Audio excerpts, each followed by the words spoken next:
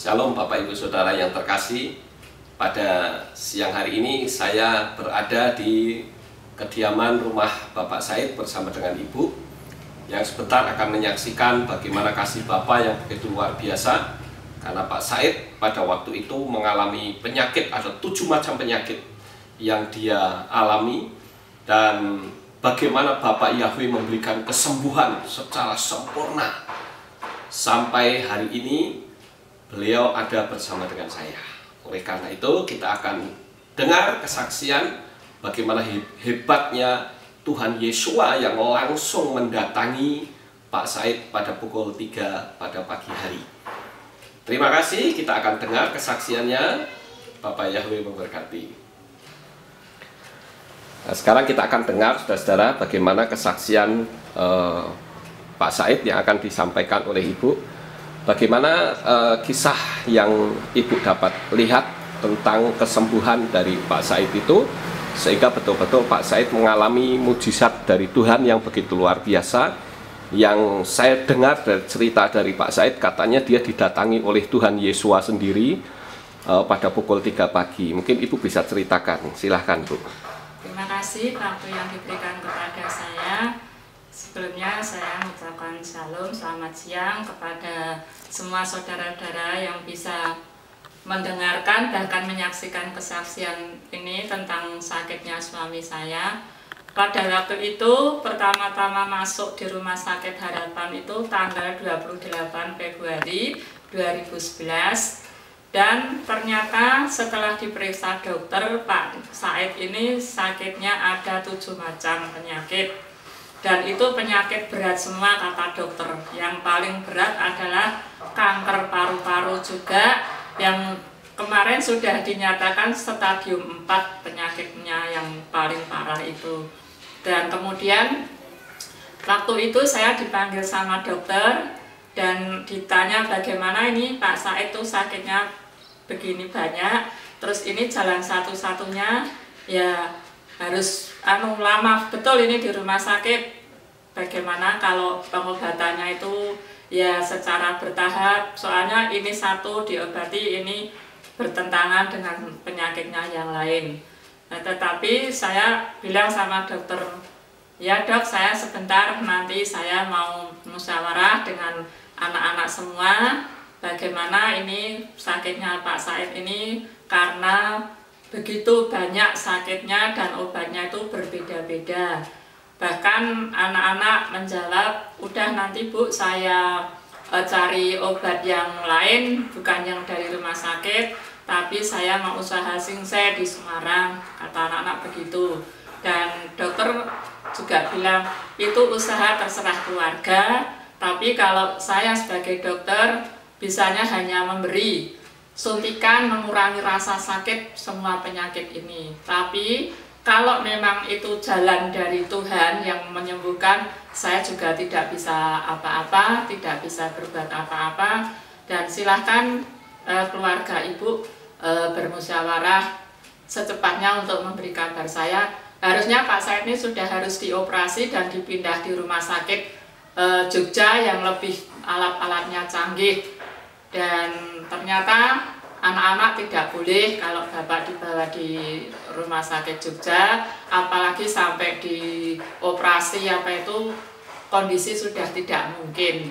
Dan udah sekarang ibu aja nunggu bapak di rumah sakit terus sambil berdoa dan anak-anak yang berusaha mencari obatnya. Tapi saya tetap berdoa dokter bilang pokoknya ibu harus kuat harus tabah menghadapi semua ini terutama karena sakit yang paling parah itu yaitu dua serosis hati dengan kanker paru-paru. Ya ini dua ini yang paling rawan. Kalau kanker hati itu kalau dioperasi hati itu kecil sekali dan lunak sekali dan jelas tidak mungkin. Terus ini saya malam itu eh, paginya kan dokter tanya saya begitu terus saya malam berdoa itu jam 12 itu saya bangun. Ini Pak Said ya tidur tapi tidur kayak ayam ayam itu cuma tidurnya nggak bisa nyenyak begitu. Yeah. setelah itu saya selesai doa saya tidur. Ternyata pada jam 3 pagi itu saya juga nggak dengar kalau Pak saya itu nggak bisa tidur, nggak bisa apa-apa dan cuma diam dan diam. Tapi saya percaya Pak saya itu juga dalam hati juga berdoa minta pertolongan Bapak Yahweh bagaimana jalan keluar jangan sampai dioperasi dan jangan sampai uh, apa ya obat-obat yang uh, katanya bisa menyembuhkan tapi malah menambah racun katanya obat itu racun. Nah, makanya Pak saya juga saya suruh berdoa Pak. Bapak malam pokoknya semampunya Bapak harus Bapak berdoa minta pertolongan Bapak Yahweh biar Bapak Yahweh sendiri yang menjamah tubuh Bapak sehingga semuanya itu penyakit itu lenyap oleh karena pertolongan Bapak Yahweh yang begitu ajaib, yang begitu dahsyat, yang begitu luar biasa terjadi dalam kehidupan Pak saya terutama setelah jam 3 itu didatangi dan dipegang tangannya sebelah kanan. Ternyata pagi itu Pak Said bangun katanya enak sekali hawanya sejuk, redup, nggak nggak ada rasa sakit panas, nggak ada rasa sakit gundah gulana gitu, rasanya nggak enak apa bagaimana, enggak semuanya itu ternyata hilang. Hilang. Ya, jadi betul-betul ini Pak Said ini bahwa yang datang ini benar-benar Bapak Yawi Iya, sendiri Sandi. yang menjamah. Ya, inilah saya jadi sekarang itu betul-betul Bapak Yawi itu luar biasa mengasihi Pak Said begitu yang sakitnya sudah dinyatakan kronis sudah dinyatakan tidak mungkin bagi manusia tapi Pak Said dan saya juga meyakini kalau bagi manusia tidak mungkin tapi bagi Bapak Yawi selalu mungkin. Jadi dokter juga saya sampaikan begitu. Saya tidak anu pesimis dok. Saya tetap usaha keras semua itu yang punya kan Tuhan. Jadi saya percayanya kepada Tuhan aja manusia itu kan cuma perantara kalau memang dipakai oleh Tuhan. Tapi kalau Tuhan tidak mengizinkan Tuhan sendiri yang akan turun tangan menolong Pak Said ini dengan cara itulah. Pak Said tangan kanannya dijamah jam 3 tepat tanggal 28 Februari 2011 setelah itu selesai Pak Said itu merasa kok bangun itu badannya enak, rasa dingin, rasa sekarang sama sekali tidak merasakan sakit. Setelah itu hari apa itu pokoknya akhir akhir Februari itu dokter sudah boleh menyatakan kalau ini Pak Said luar biasa. Ternyata kok penyakitnya itu kok bisa hilang semua ini sungguh-sungguh mujizat Bu, ini mujizat dari Tuhan ini. Ini terus terang saya tidak bisa mengatakan apa-apa. Inilah kemurahan Tuhan kepada umatnya yang begitu mengasihi dan yakin percaya bahwa Tuhan itu ada dan Tuhan itu maha segala-galanya. Dokter bilang begitu, saya cuma ketawa. Itu katanya dokter kan bilang tidak mungkin, tapi semuanya bagi Tuhan itu mungkin. Demikian kesaksian saya yang saya sampaikan. Ada kurang Saya dengar katanya eh, cairan yang diambil Iya. itu sudah itu ya Bu, sudah seperti Coca-Cola ya. Iya, jelas itu sudah warnanya sudah coklat, Pak, bukan warna putih seperti air, tapi itu coklat dan kental. Itu darah dan nanah. Hmm. Dan kencingnya juga darah, beraknya juga eh, campur darah juga. Itu semuanya itu sudah sudah sangat tidak mungkin bagi manusia, Pak. Tapi ya itu Pak Said Ya dok, Begitu. dokter juga katanya sudah memvonis ya. Iya, enam dokter bulan. memvonis hanya enam bulan. Ini harus siap-siap ya Bu. Ini ternyata sudah memang Tidak. sudah tidak ada Obatnya. obatnya. Jadi ya itu kalau memang ini mujizat dari Tuhan saya tidak bisa bilang apa-apa. Itu ternyata terjadi setelah selesai itu di periksa dokter hilang semua. Eh, Setelah pulang satu minggu kemudian Pak Said disuruh kontrol lagi ke rumah sakit, diperiksa lagi, di ronsen lagi.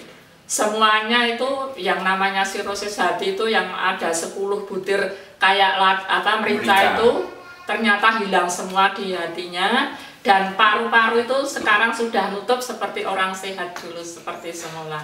Itu luar biasa dan sungguh-sungguh itu pertolongan memang dari Bapak Yahweh bukan dari manusia Kalau sekarang Pak Said usianya berapa ya? 74 74 ya. Iya. Dari sejak sakit divonis dokter tinggal Bapak 6 bulan. iya Itu dari sejak itu sampai sekarang sudah ada berapa lama ya? satu setengah tahun Sudah ada satu setengah tahun. Iya. Berarti kalau begitu ada sudah ada penambahan. Jadi itu Iya. betul-betul satu mujizat yang luar iya biasa Bu ya. betul luar biasa Lalu bagaimana eh, yang Pak Said rasakan pada waktu Tuhan Yesus datang? Sekarang Pak Said yang cerita.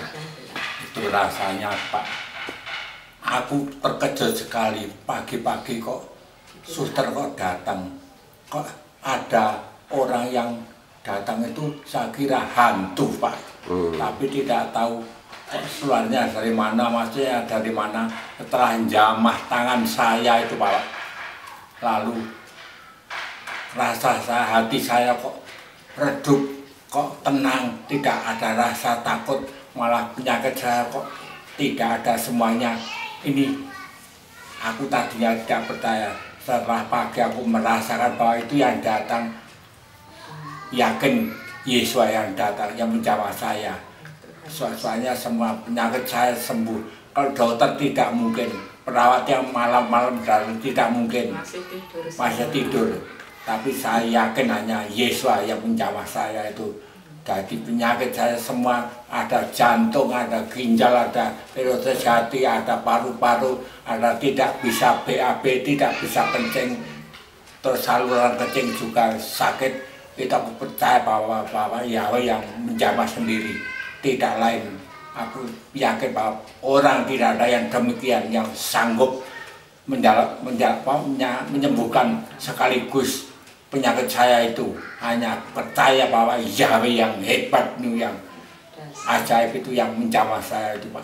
Eh, Pak Said, Pak Said eh, meyakini bahwa itu yang datang adalah Tuhan. Itu Pak Said bisa melihat wajahnya nggak waktu itu?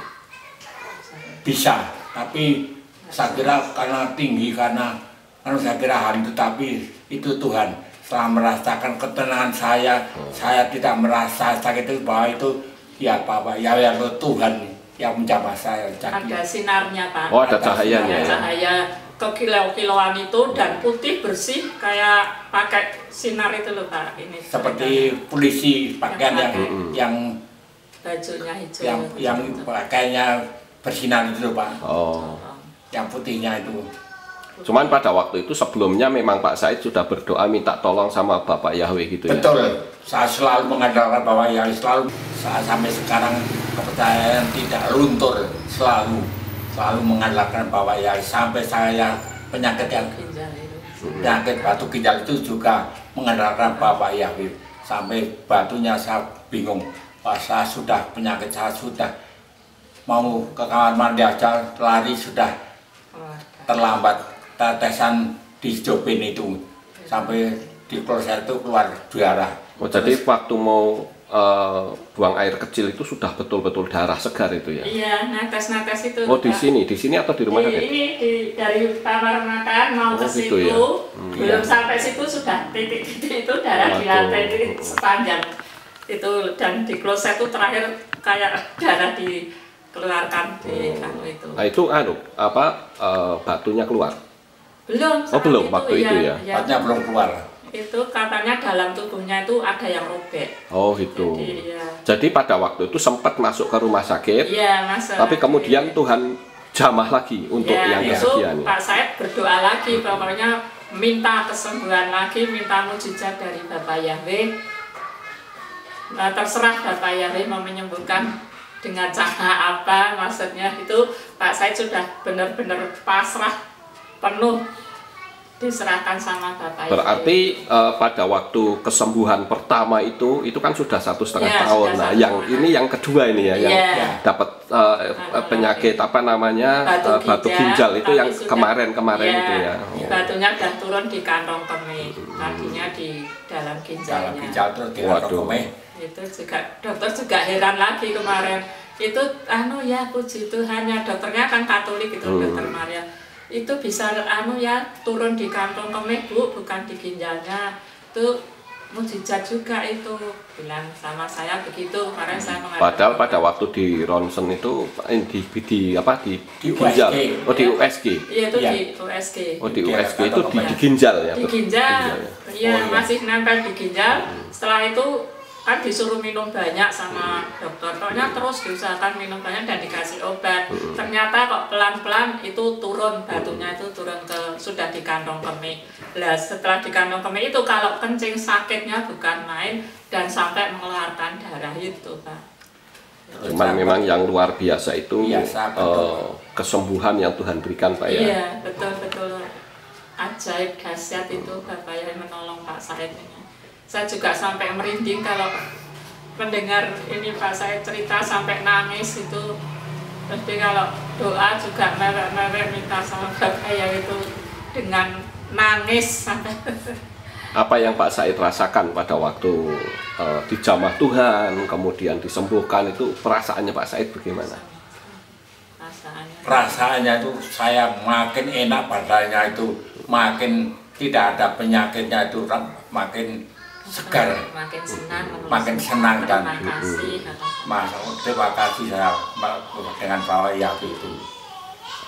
Ya puji Tuhan, melalui kesaksian ini kita semua tahu bahwa Bapa Yahweh atau Tuhan yang disembah oleh bangsa Israel iya. yang disebut sebagai Yahweh Rafa atau Yahweh Sang Penyembuh itu betul-betul terjadi dan bisa dibuktikan. iya Di dalam Tuhan Yesus Hamasia itu tidak ada perkara yang mustahil. Ya, jadi kalau beberapa waktu yang lalu ada orang yang bilang mana di dalam Yesua tidak ada mujizat apa, nah ini menjadi sebuah uh, bukti bahwa di dalam Bapa Yahweh, di dalam Tuhan Yesus Hamasia ada mujizat yang sangat luar biasa. Gitu. Ya, saya sangat bersyukur dan hari ini Pak Said dalam keadaan sehat, Pak ya. Sehat ya. Sehat, Coba Pak Said bisa berdiri. berdiri Ya. Iya, ini dia Saudara, Pak Said dalam keadaan sehat, ya, tidak sakit dan kita akan selalu bersuka cita dan bersyukur bahwa Tuhan memberikan kesembuhan kepadanya ya. Silahkan duduk kembali Pak Said, ya. Ya. Aku mulai sakit ginjal itu ginjal saya dari kena batu ginjal telah diperiksakan dokter bilang ada batunya di kantong kemih. Belakangan boleh pulang.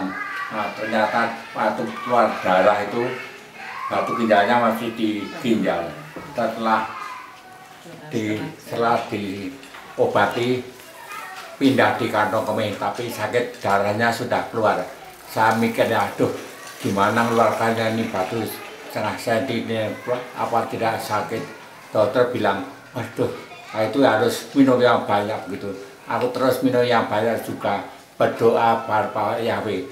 Setelah aku berdoa minta supaya batunya dikeluarkan tidak merasa sakit tidak merasa apa-apa. Bapak Yahweh tolong ya Bapak Yahweh tolong saya sambil menangis doanya.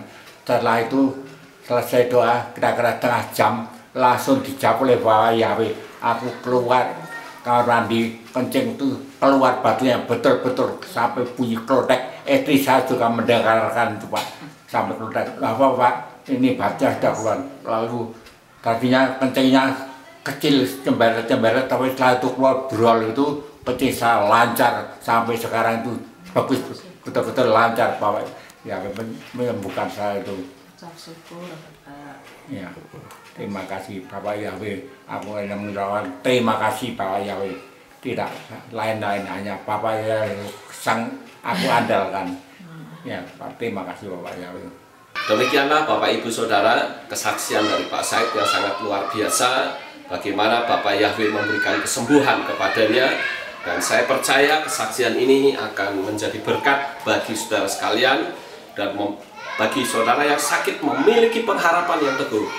Jangan takut bahwa Bapak Yahweh itu adalah Tuhan Sang Penyembuh. Jadi tetap memiliki pengharapan. Bagi saudara yang saat ini menghadapi tantangan beban berat atau apa pun, datanglah, berharaplah karena Yesua Hamasia adalah Tuhan yang ajaib dan maha kuasa. Terima kasih Bapak Yahweh memberkati saudara sekalian, sukses besar untuk saudara.